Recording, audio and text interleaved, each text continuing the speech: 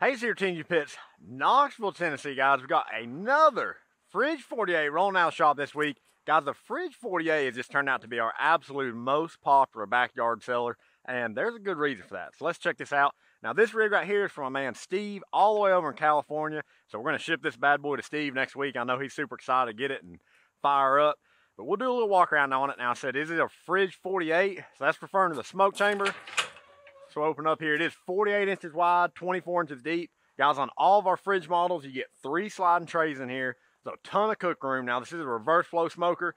Smoke comes all the way across the bottom, then back out of the smokestack. Makes for real even cooking temperatures in there.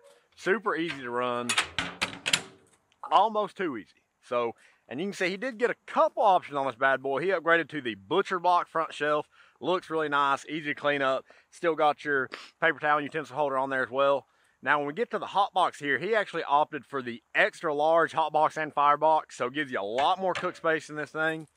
Still have five sliding trays in here, but you got well over 2,000 square inches of cook space in here.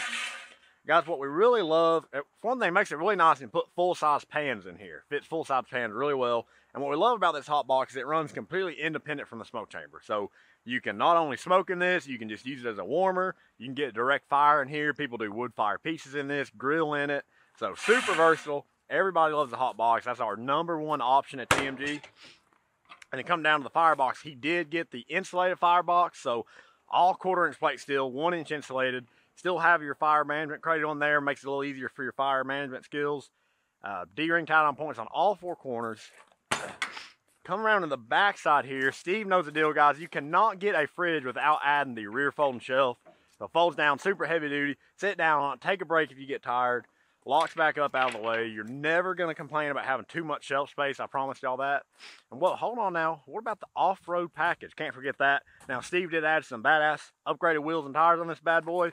What's really nice about our off-road package is the front axle swivels all the way underneath. You can turn around about 15 times, guys. It's not going to unscrew and fall off there. This makes it super maneuverable easy to get around, going through grass or gravel. This is the way to go, the off-road package.